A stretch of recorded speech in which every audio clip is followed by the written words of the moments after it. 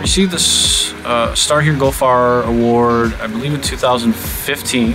Because of my background, uh, I'm an alcoholic, been sober for seven years. The goal after graduation is hopefully to start my own theater company or work with a theater company that works with uh, kids who are almost on the streets, uh, getting in trouble, uh, maybe drinking, doing drugs, and giving them something to uh, possibly give them a passion and keep them from the, some of the same paths that I went down when I was younger.